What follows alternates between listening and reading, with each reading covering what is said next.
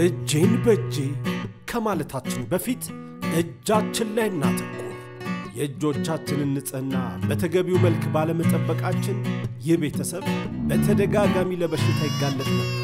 ዛሬ ግን ትልቋ ልጄ ከትምህርት ቤት ባገኘች ዕውቀት ሁልጊዜ ንጽሕናችንን መጠበቅ እንዳለብን በተለይም መጸዳጃ ቤት ከተጠቀምን በኋላና ከመመገባችን በፊት እጆቻችንን አለመታጠባችን ለሕመም እንደሚዳርገን አሳወቀችን።